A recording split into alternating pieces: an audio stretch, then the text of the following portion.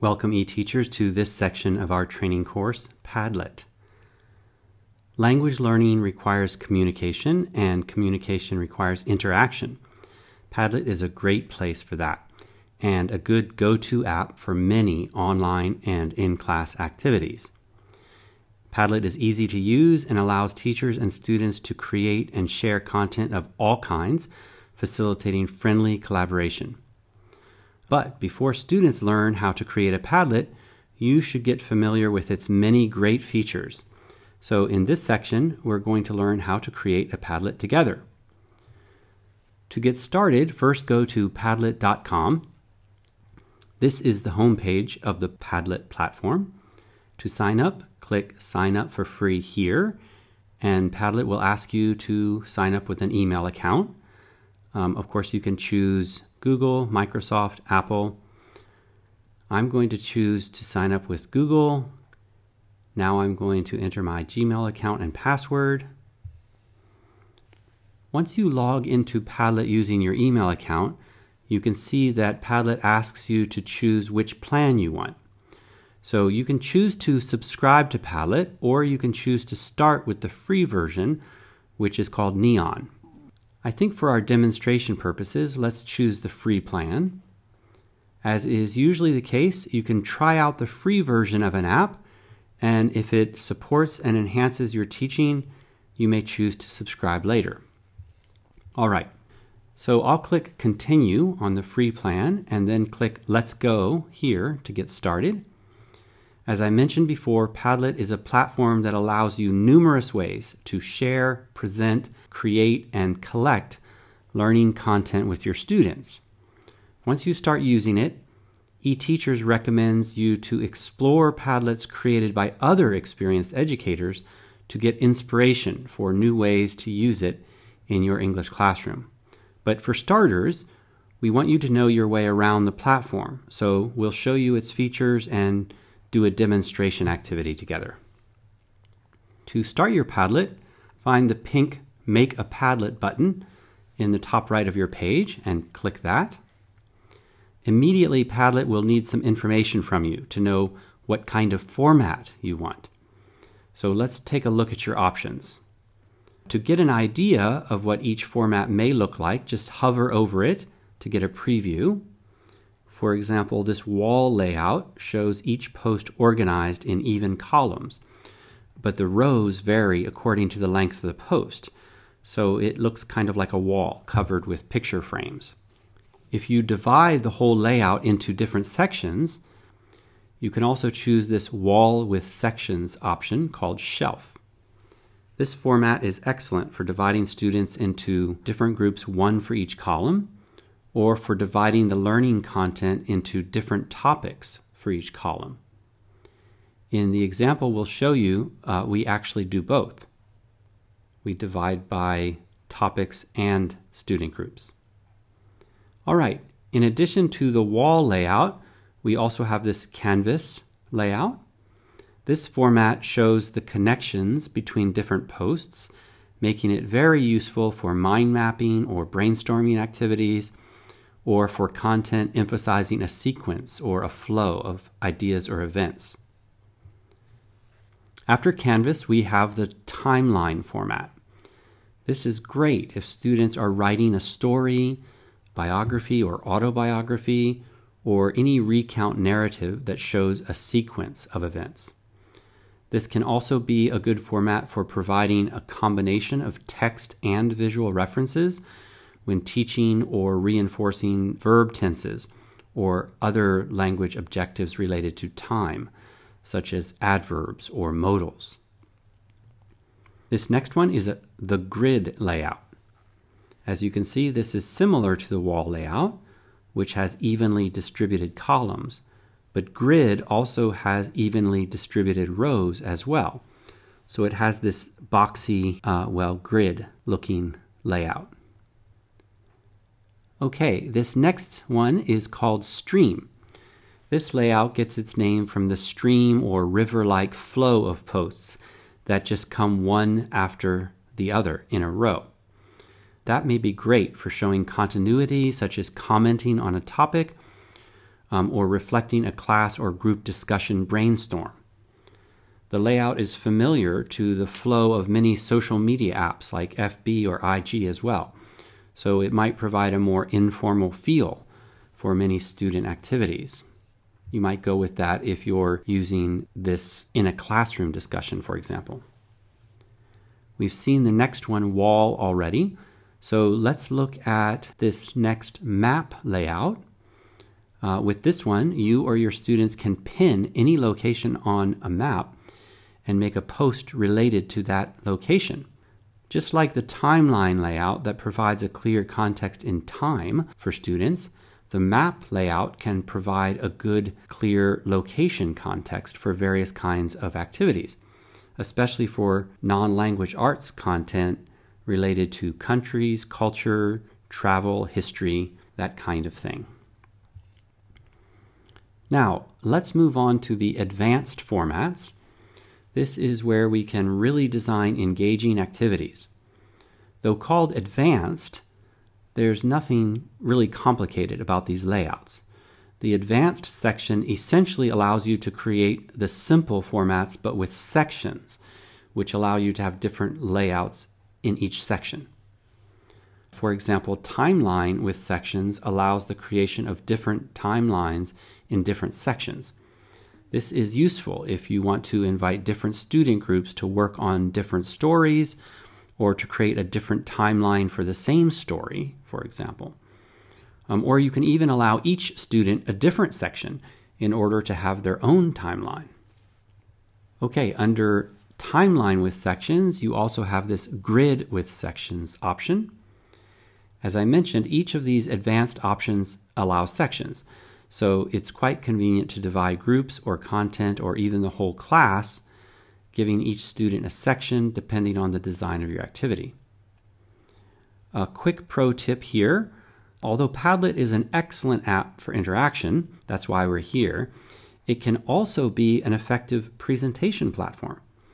Uh, you can create any learning content organized according to the most ideal layout that we've looked at here and then share the link with students, allowing them just to view or to comment, and other ways to present, uh, which we'll see later as well. Okay, very versatile. Here is the stream with sections layout. Here is the wall with sections. And finally, the map with sections layout. All right, that's a look at all of your layout options, quite a nice variety. For our demonstration activity, I would like students to do an in-depth analysis of a short but meaningful poem to think about it from different perspectives. But I also want them to work with their classmates in small groups. So for this activity, I think I'm going to choose the shelf layout, which is the wall with sections. So I'll scroll back here and click it to choose that one. Once it's selected, you can see that a Padlet instantly creates a Padlet template for us to work with. Notice that on the left, your browser may ask you if you want to allow Padlet to show you notifications. Um, so that's up to you, allow or block. You also have your settings options on the right here, uh, which you can select right away or you can choose them later. For example, here I can title my Padlet. I'll choose the name of the poem that we're going to learn, Nothing Gold Can Stay. Once I write that and click Done, it will be saved and shown as the title of this Padlet.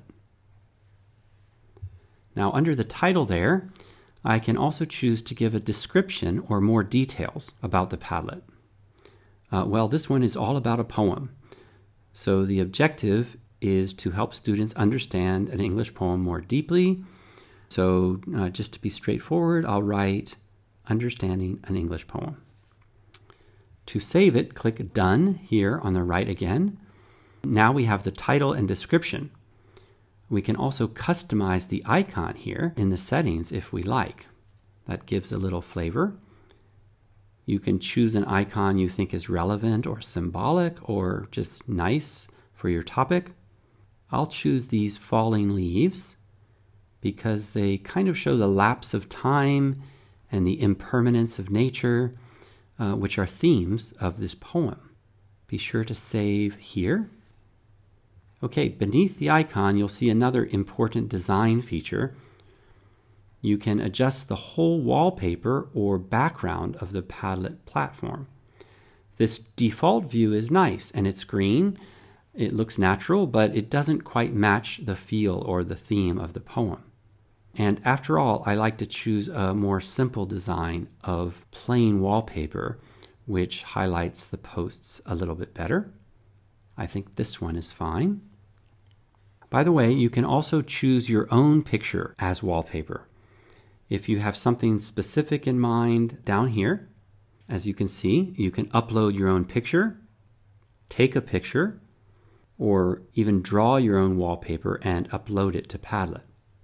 There are link and search options too. So I think both teachers and students who are creating their own Padlets can really enjoy this variety of options. Okay, I'm quite happy with the one that I have, so I'm going to click here to save the wallpaper. And that's it for wallpaper.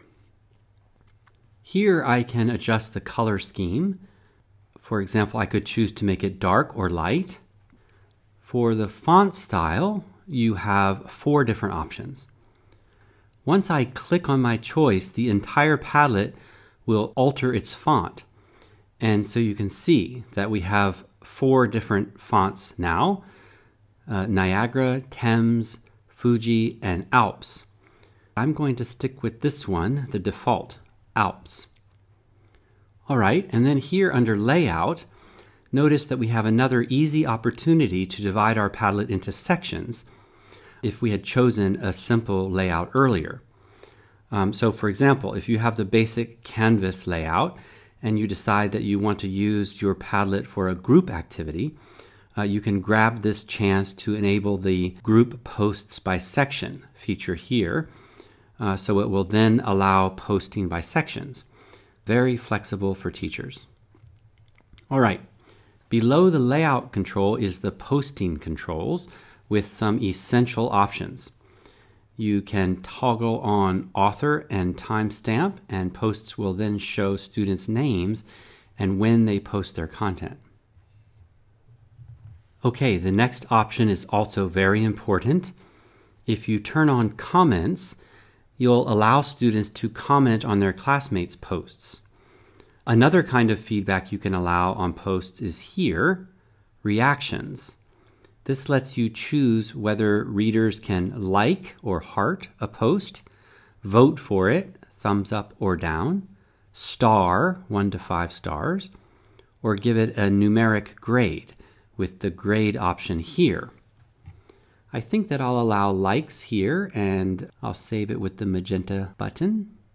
All right, now, under that Reactions button, we can choose where new posts to the Padlet appear as first or last.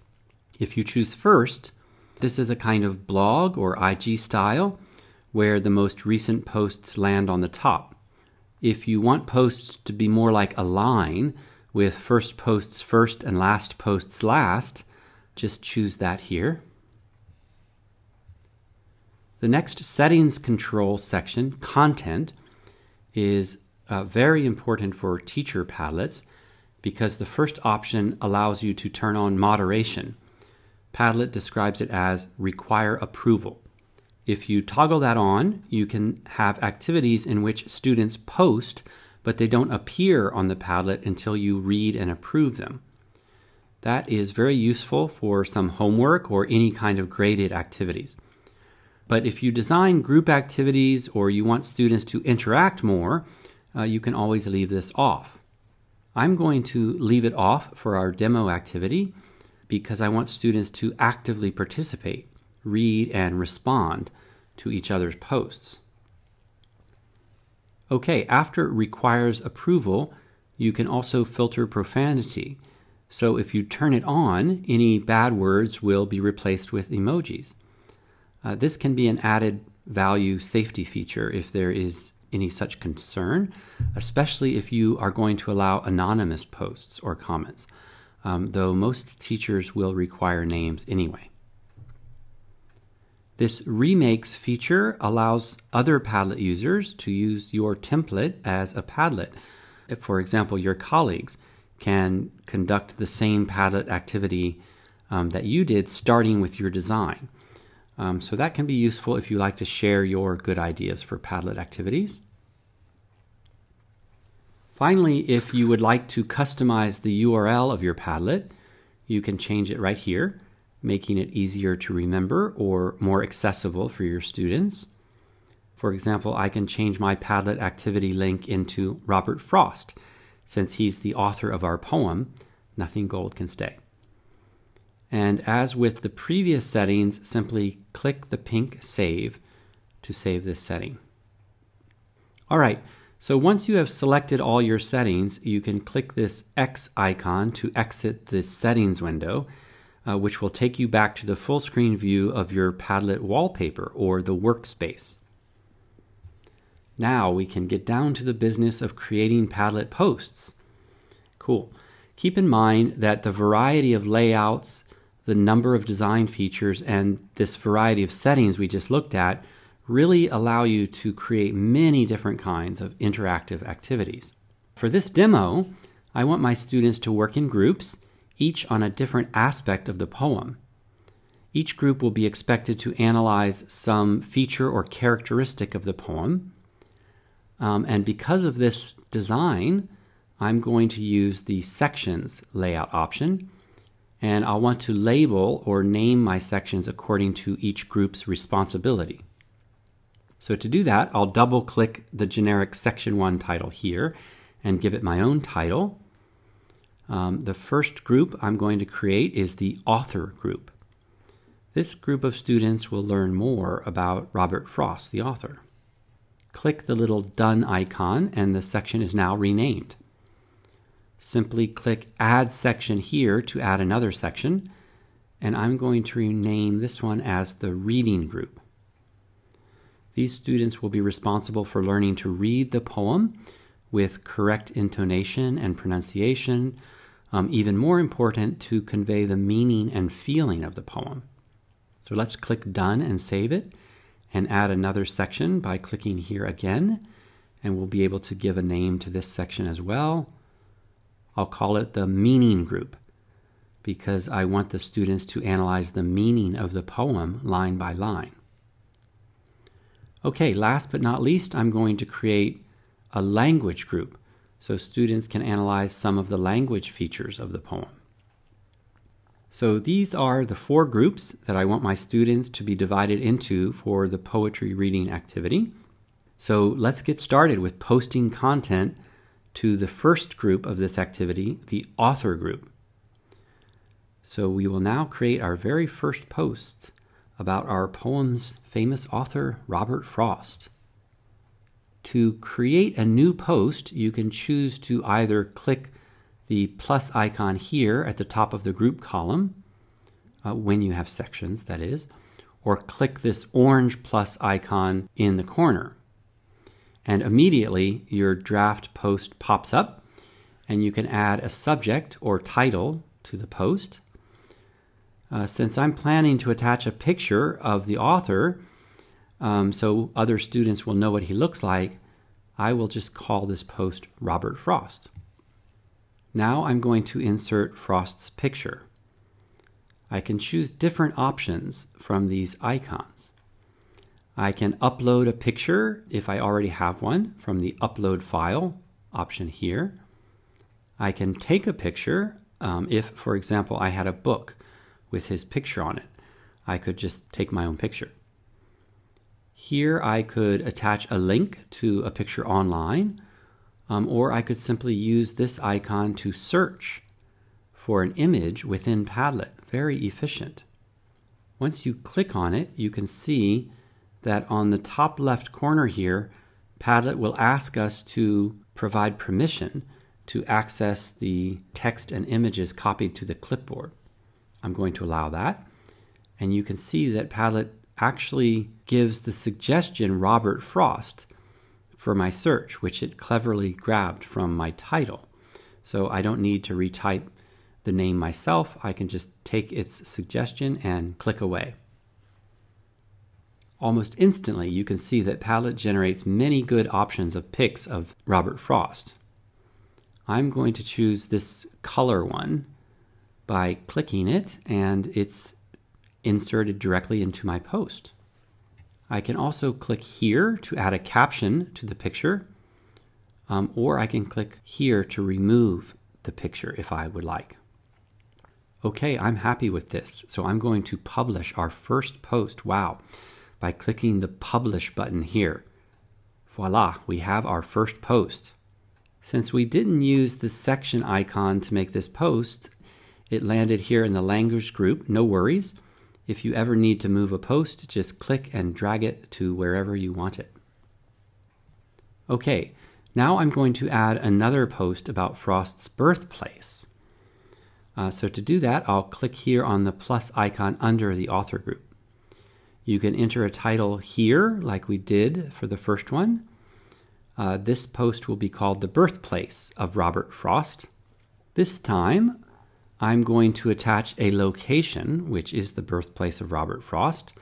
In order to do that, I will find more options with the three dot icon here, and then I will find the location icon at the bottom corner. All right, since Robert Frost was born in San Francisco, I'm going to search it here. You can see this image comes up, and on the bottom, you can choose different views of this location. You have road, satellite, terrain, and hybrid views. I'm going to go with the first one, the road view. I like how that looks. Uh, now, notice on the right, if you tick this little box, you can choose to show the pin. Um, so there is a pin on my map. I think that's cool. Looks good. And once it's done, I can save to save the map. And like the previous post, um, I can add a caption, um, or I can click here to remove it and try another location, for example, or another view if I like. So you start to see a pattern of how the posts work. All right, I think this looks good, so I'm just going to publish it. Okay, this is the second post for the author group.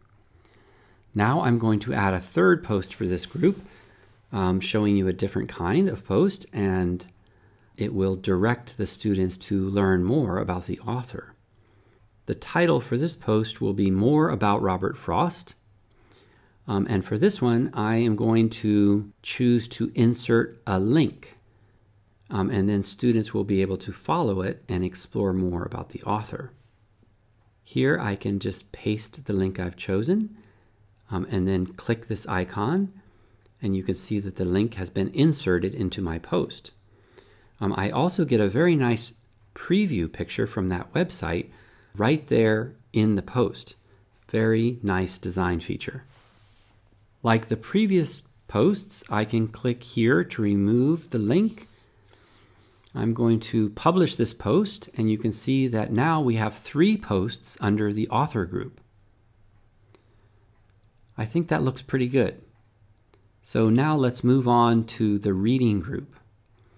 As I mentioned before, I want my students to learn to read this poem well. Um, so in this Padlet, they will share their reading of the poem by recording a video of themselves reciting it. But before that, I want to provide them an audio example so they can have a reference for their own practice.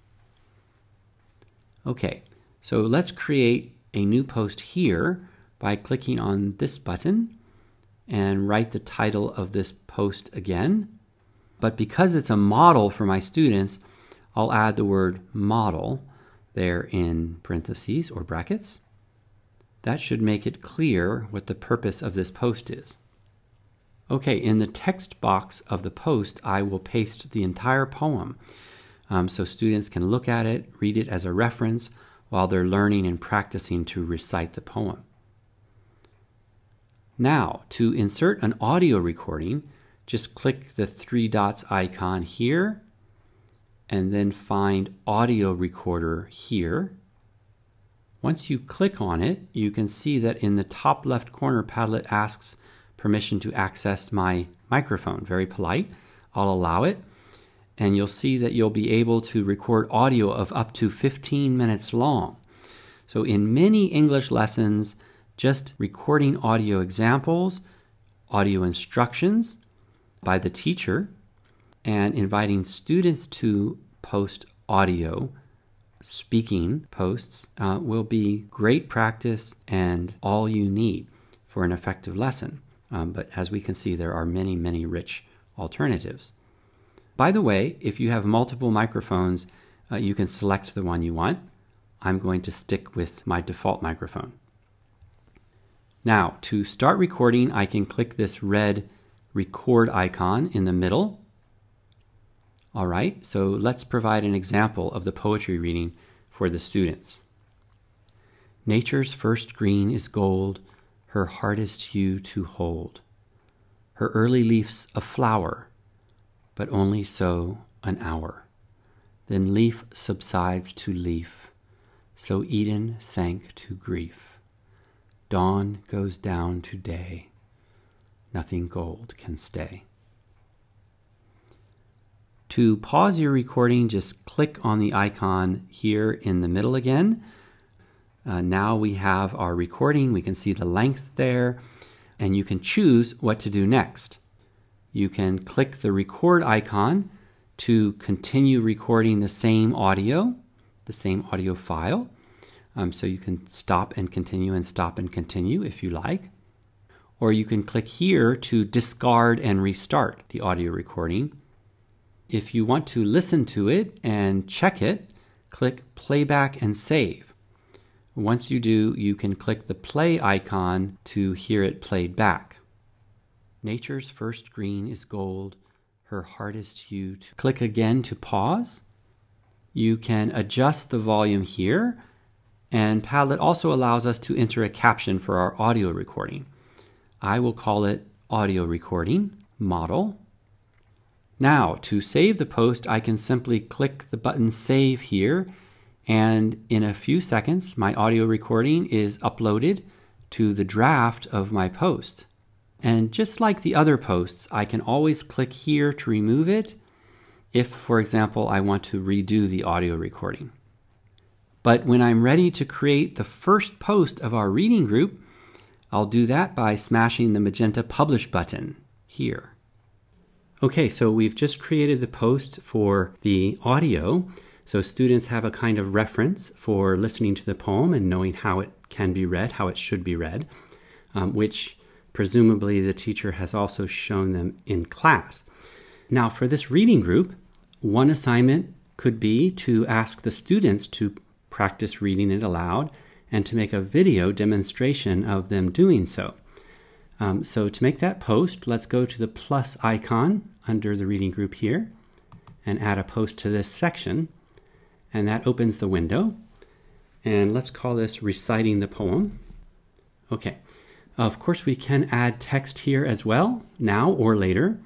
And if we wanted to upload a video we had already recorded, we could always click the first icon there and upload a file but we want to demonstrate how to create a video recording within Padlet. So go to the three dots more icon there. And you, of course, have these many options. You're looking for video recorder, uh, which is uh, right there in the middle, the top of the green section. Click this. And Padlet will ask for permission to use your camera and microphone. Um, so it's pausing and waiting for you to do that. As soon as you allow it, then the video recording window will open there. Um, so you can um, check to make sure your lighting is okay, that your framing is fine. And Padlet reminds you of uh, a few important points. One is that um, you can pause your video at any time after you start and then resume it. Um, so you don't have to get it perfect. If you want to take a pause or a break, you can do that. And um, the second reminder is that you have up to five minutes, which I think is perfect because student assignments or videos assigned for students to watch, it's best if they're kept short.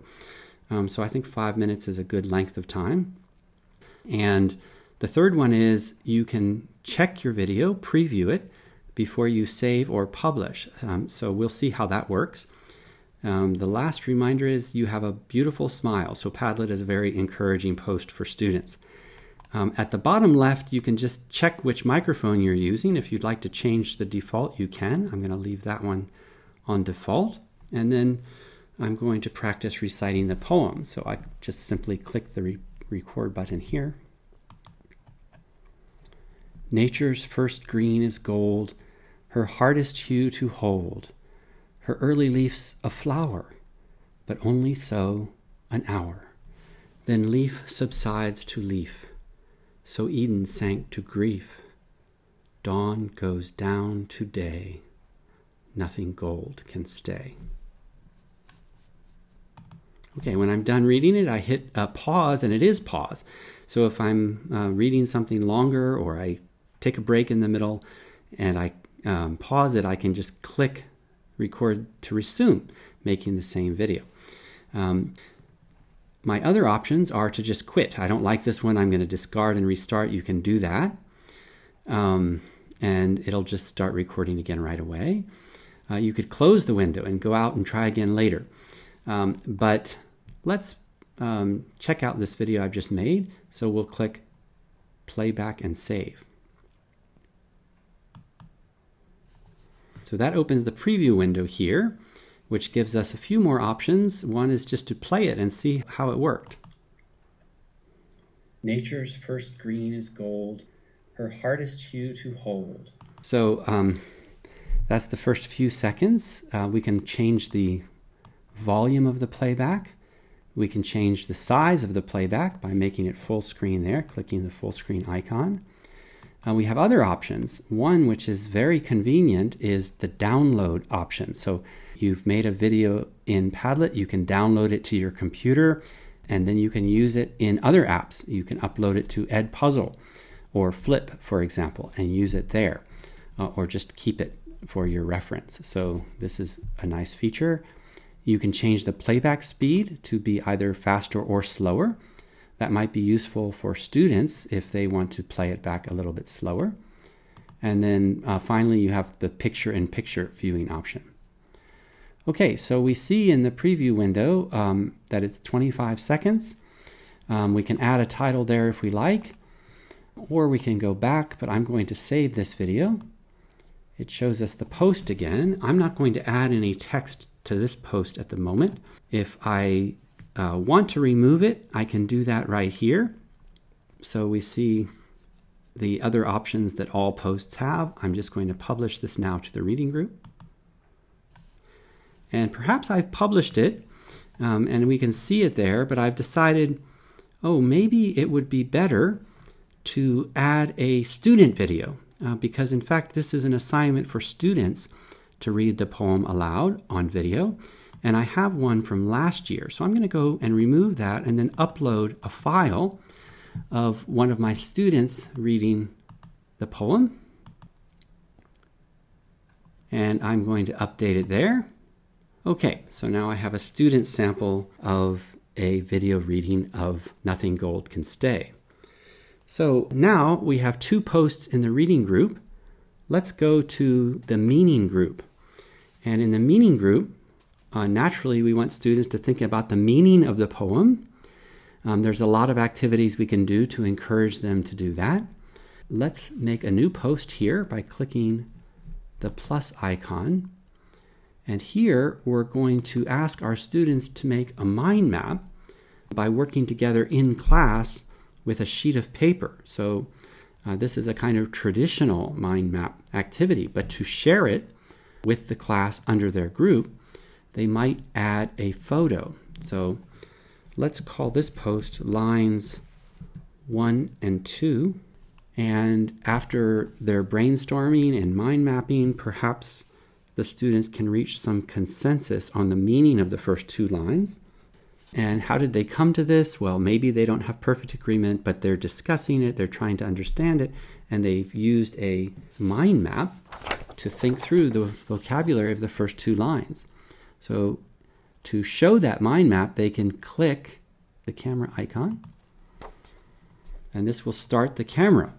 Um, and this is a very convenient way to upload media is just take a picture right from within Padlet. So this is a mind map uh, that a group might have created um, that shows some of the vocabulary, a lot of the different associations with the vocabulary. What do they think it means? Is it concrete or abstract? Uh, or maybe this is a teacher's mind map um, that you want to show them as a model. So we'll just take a picture of that there. And you can see the countdown is three seconds. Well, maybe I don't like that picture. So I'm going to try again. This time I'll just show my face. And um, so just like the video, you can take it again as often as you like.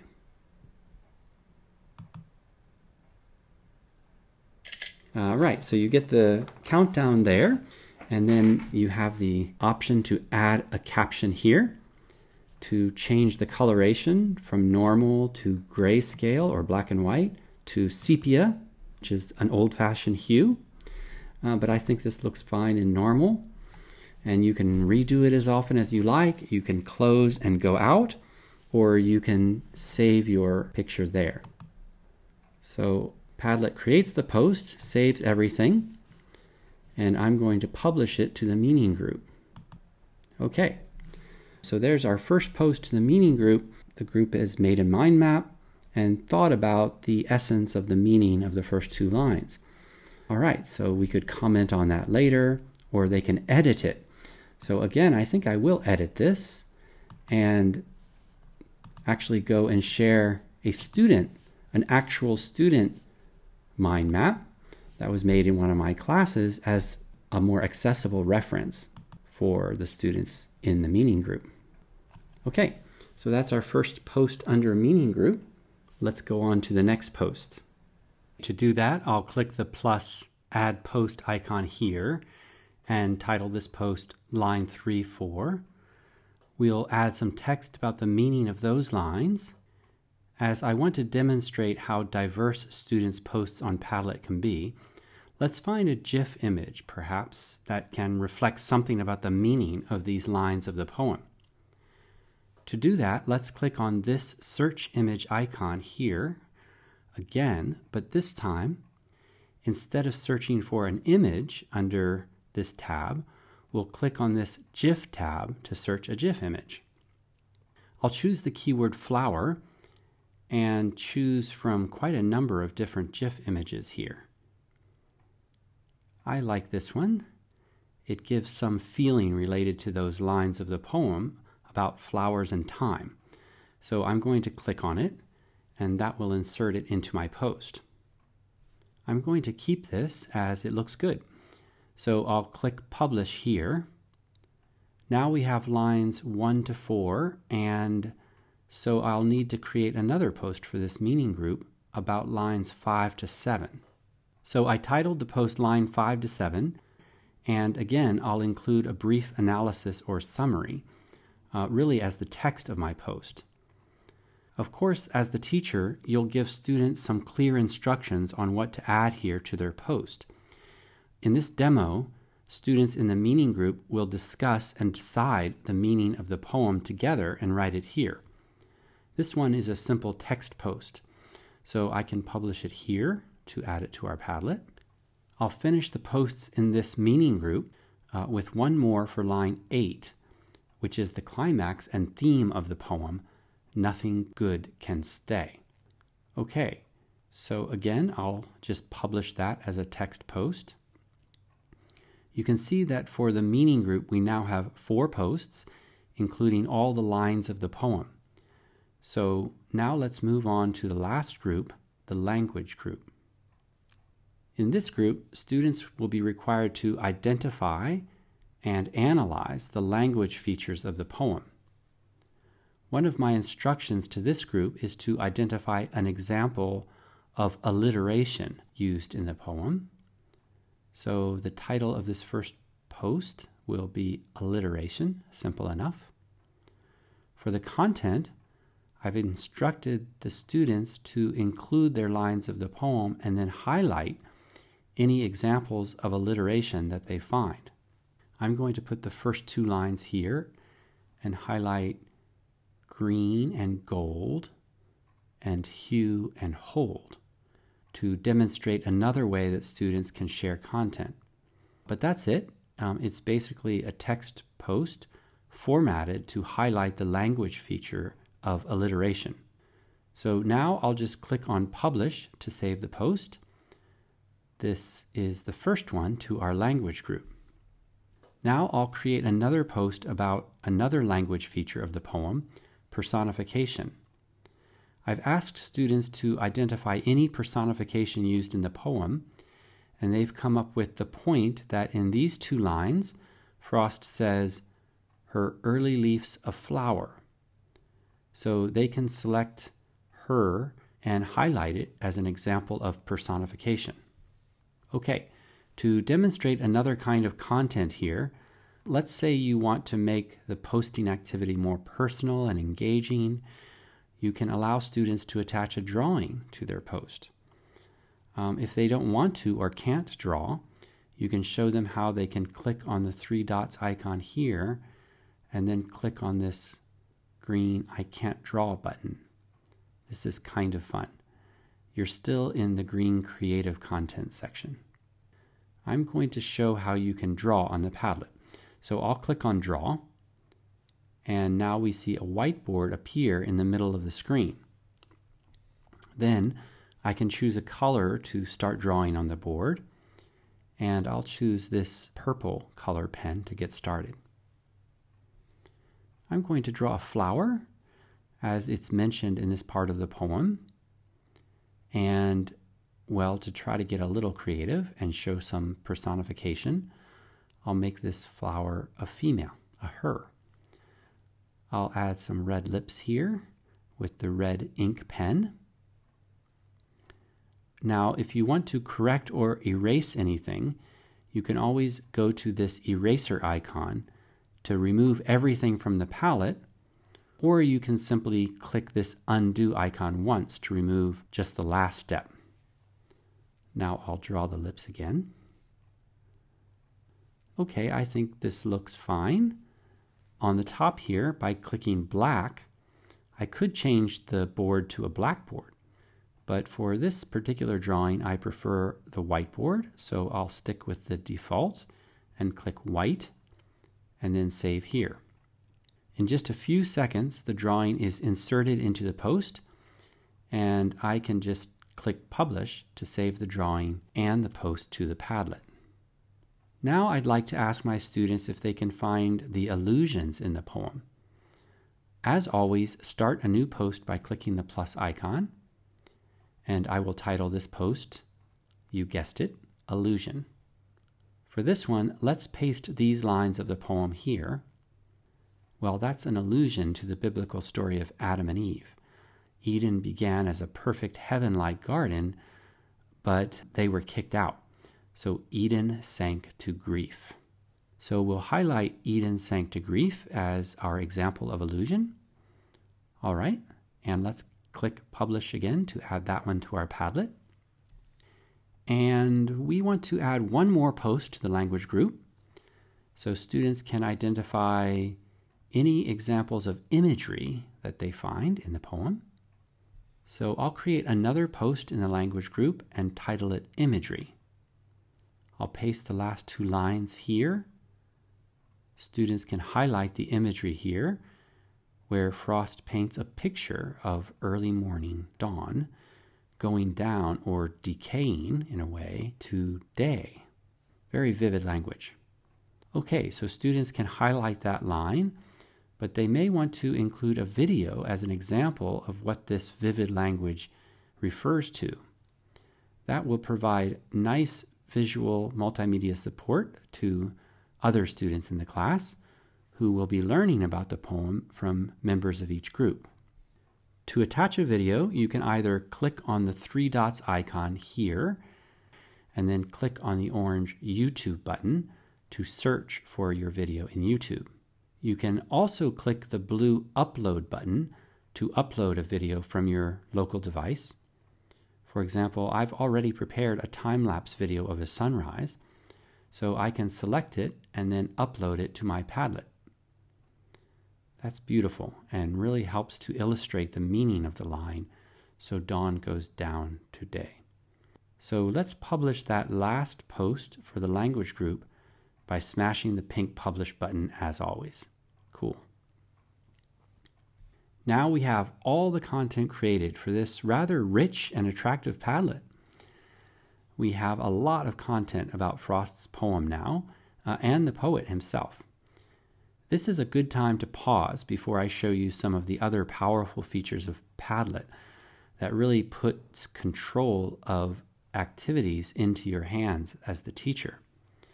But remember that this is just a one kind of Padlet, one demo.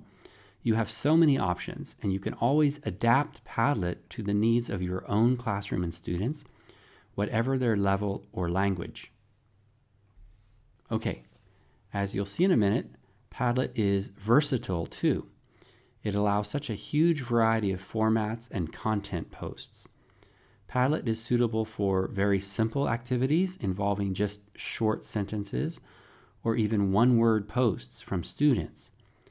But even then, the platform allows teacher and classmates to share and respond to each other. But of course, much more detailed and creative posts are possible here too, as we've just seen. I also want to point out that Padlet, as with most good educator apps, can do more than just facilitating creating posts. It now has a great presentation feature as well, slideshow. So if you want to, uh, you can make all the posts yourself and use Padlet to present them to your class. Very flexible. Our demo Padlet here, though showing group activities, could just as easily be a teacher presentation showing different aspects of this poem and how to understand it. Okay, let's move on to look at some of those other great Padlet features. Suppose you want to edit one of your own or one of your students' posts. It's easy. Go to the post that you want to edit and hover on the right top corner here, and you'll see Edit up here. Click that, and you can edit anything on the post. I'll just do a quick edit of the format of this text as an example. I'll make it bold. And to save the changes, I'll just click Update here. Done. That's how you can edit any post. But if you want to see more options for managing posts, just go to any post and click on the three dots more icon, like this one here. You'll see this menu of options pop up. If you click Open Post, you'll see the post in full screen mode. This is great when you're presenting or reviewing content by projecting it in class or in an online lesson, or even just supporting one student and you want to focus on his or her post on your laptop, for example. To exit the full screen mode, you can click this close icon here. Under Open Post, we can also choose to open the post in the new tab. So we can have more than one open at a time and can return to them easily. Okay, under that option, we have this very useful feature, one I use a lot. You can grab the link to a specific post. This allows you to highlight or focus on any one post in a Padlet as independent content and then share it in another context. You might give a flipped class homework assignment to students, for example, to prepare a Padlet post. Well, if you include a link to a completed post, it will be a great reference or model for them. Okay, here you can start slideshow from this post. So this slideshow is actually a new feature I mentioned, and it enables you to present a live slide presentation of the Padlet content post by post. As I mentioned, this is very useful for reviewing student work together uh, or even presenting your own content. The formats of your Padlet are flexible, very creative, and can fit the theme, the wallpaper, and the posts to your own content. Just choose the post where you want to begin the slideshow and click this button. Next, you can change the background color of any post I'll just change the background color of this one to yellow and this one to green and this one to purple. This allows students to personalize their posts a bit, or you can use the color as a feature of groups to give certain roles to group members, for example, like leader, presenter, researcher, etc. Okay, under the color is another way you can access edit the post, very convenient. Now, these add post before and add post after icons can be clicked if you are creating a new post and you want to choose exactly where it goes on your Padlet.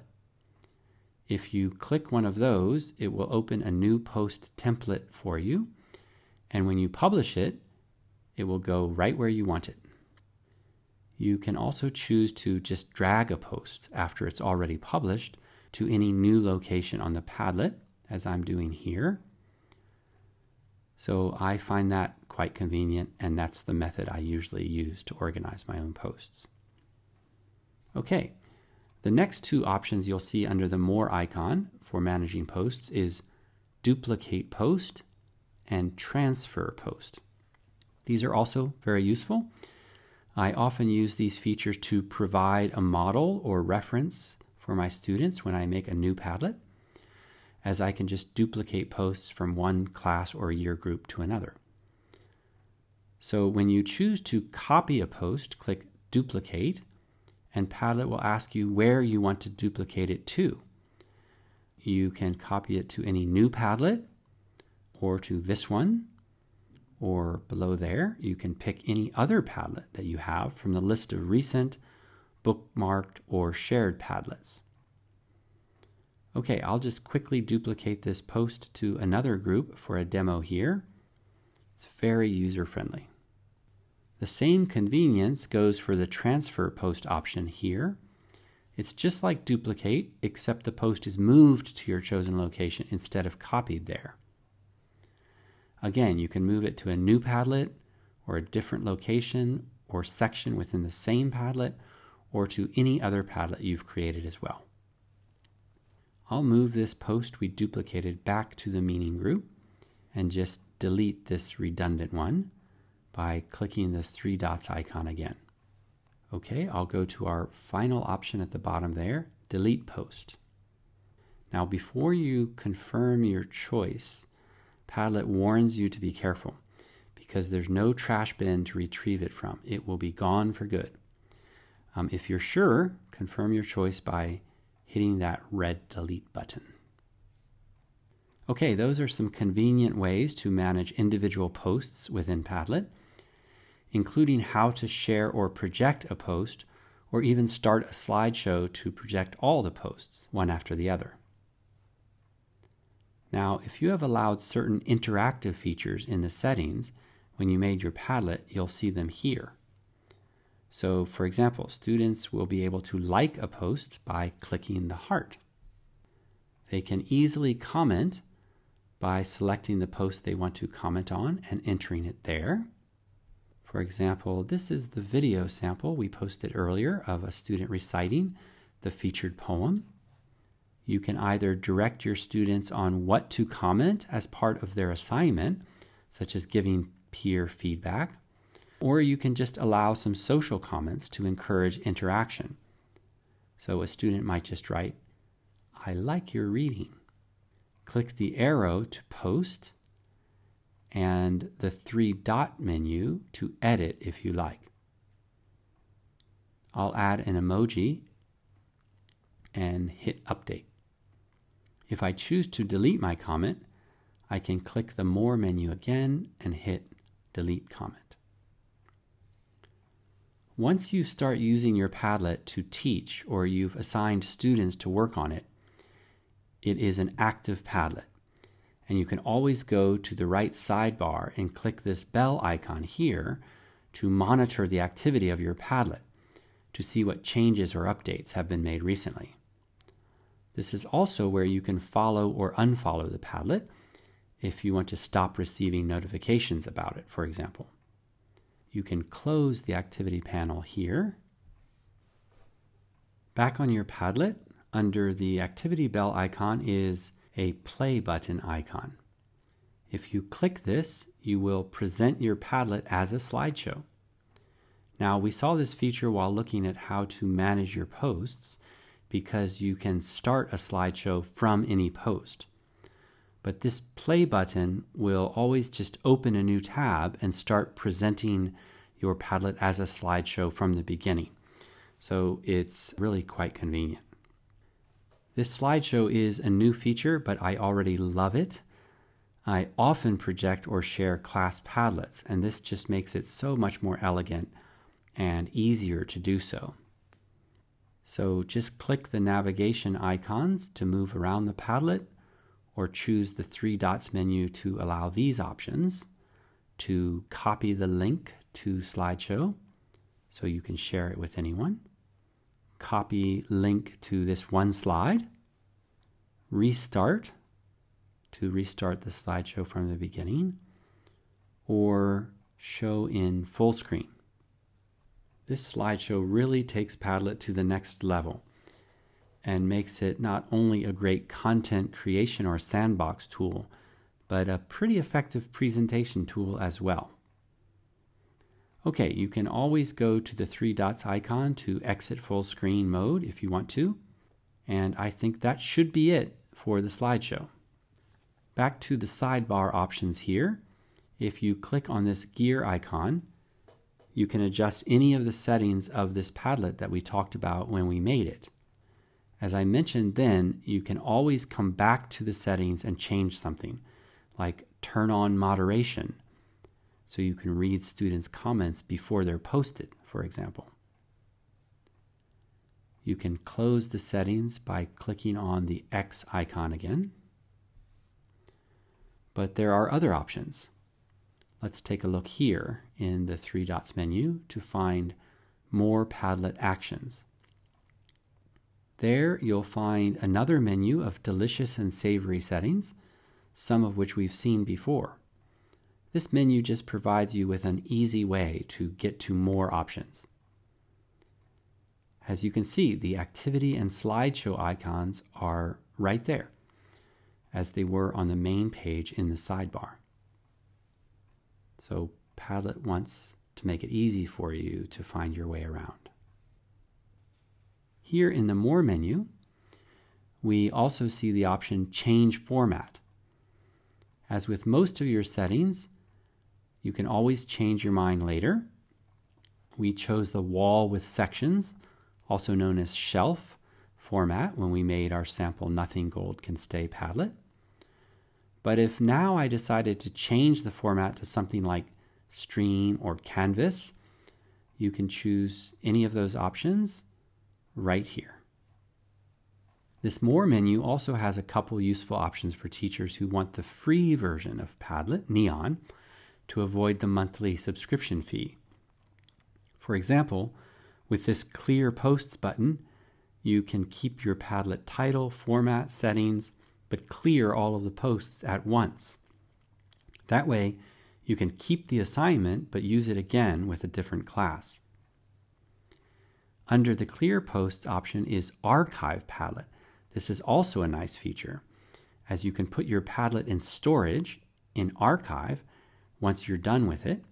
And that way it does not count toward your limit of three Padlets. So, although three is not very many, and you may want to subscribe, it's not necessary to do so. You have some flexibility.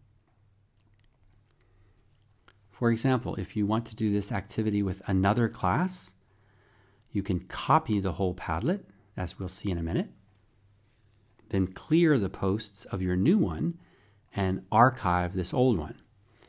Uh, that way, you get to keep everything and it's still free. If it's more convenient for you and you don't want to use this Padlet anymore, uh, you can also just delete it with this red Delete Padlet button. But be careful. Although it shows a trash bin, there is no removing it from the trash later, like in your operating system deleted posts and Padlets are dead and gone forever. So think twice or three times before deleting them. This is one of the very few things that you can't go back and change later. Below Delete Padlet, you've got a Go Full Screen button. Which will simply expand your Padlet to the full screen view. Um, I used to use this option quite often when I was showing Padlets online or in class and projecting them to a screen. I think this feature may still be useful if you want to show the layout with all the posts like this, but with the slideshow option we talked about, you now have another nice option for projecting your Padlet posts in a probably clearer and well organized way.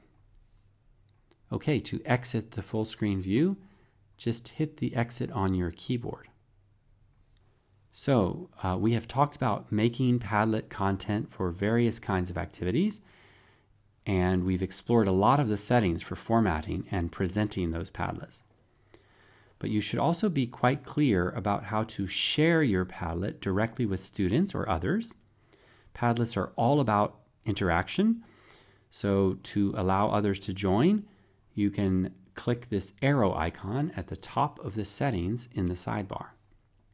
Now notice that we'll be sharing our completed Nothing Gold Can Stay Padlet here for this demonstration. But in most cases, you'll want to share your Padlet earlier after you make the basic assignment so that students can read posts, make posts, and comment on them as a part of the interactive activity. Notice that here it says invite members. This will allow you to share the Padlet with anyone, not only students, also colleagues or assistants in the school, for example, or even parents. And you can give each of them the level of access that you like one by one. For example, I have a teacher assistant named Grace, so I can click Add Member here to invite her, enter her email address, and choose her account here. On the right, I can choose from these four levels of permission from read to write to edit to administer. I'll change Grace's permission from can read to can administer, so she'll now have all of the control that I have.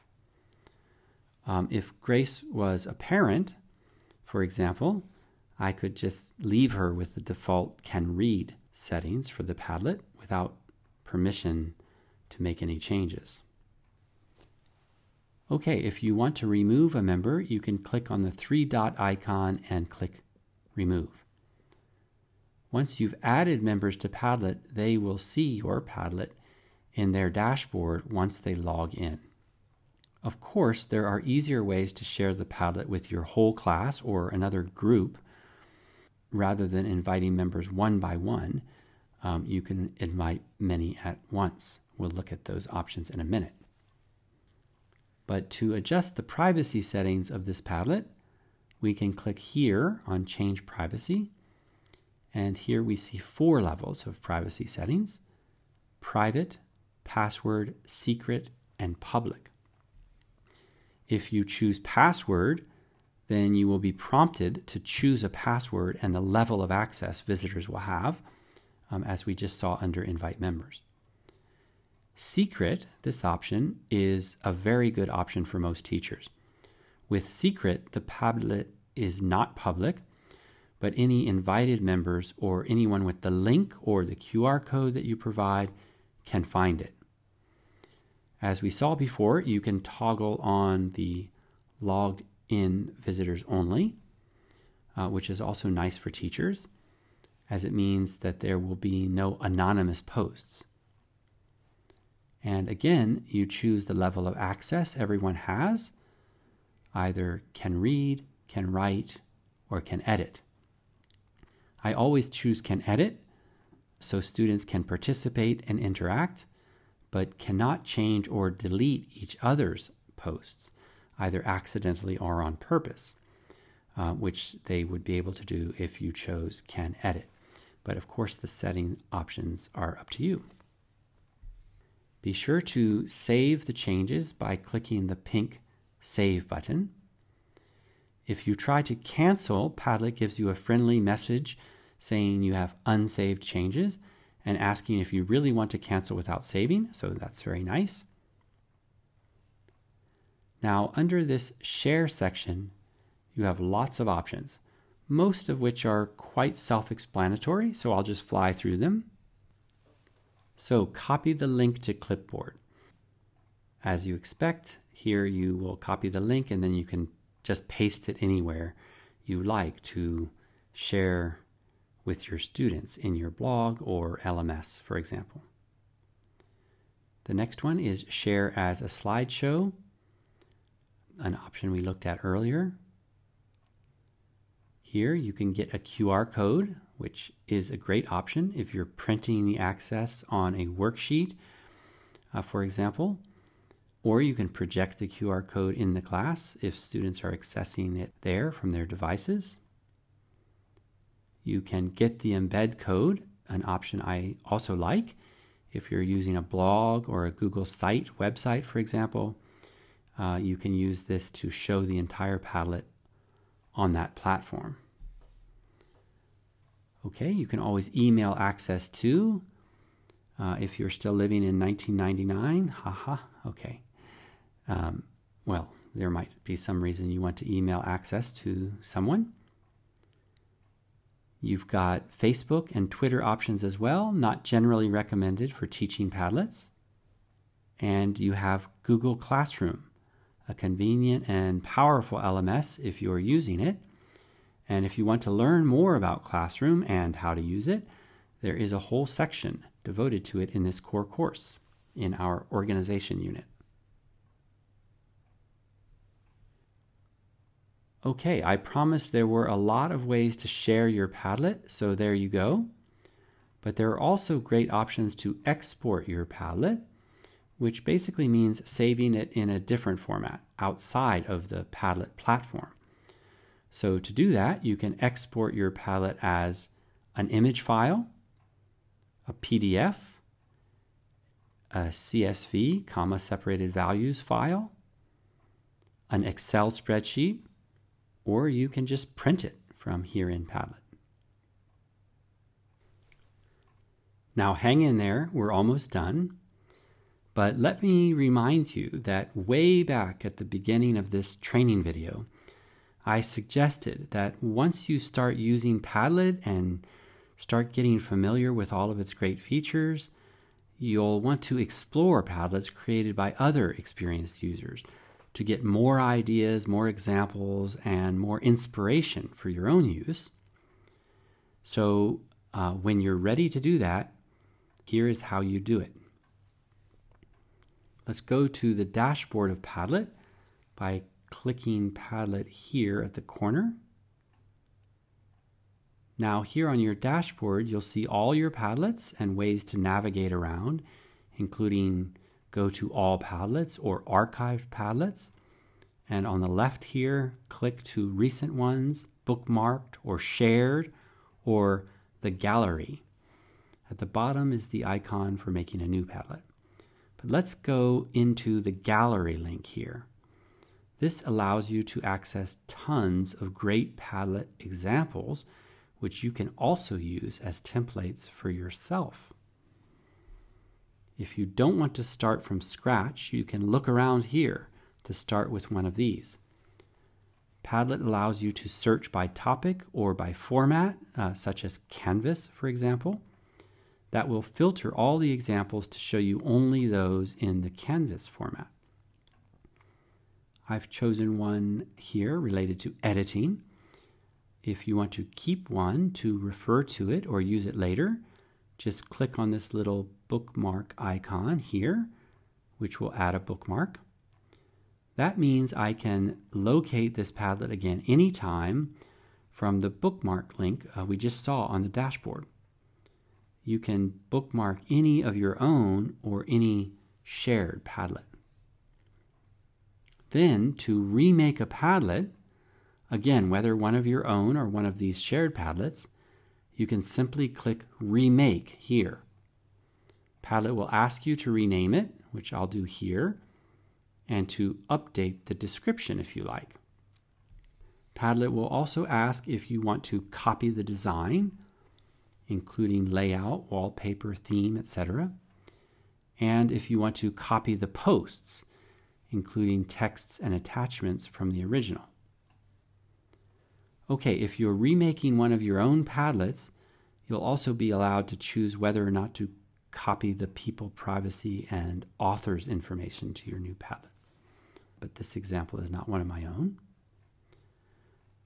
When you've made your choices, hit submit and you can see Padlet working away.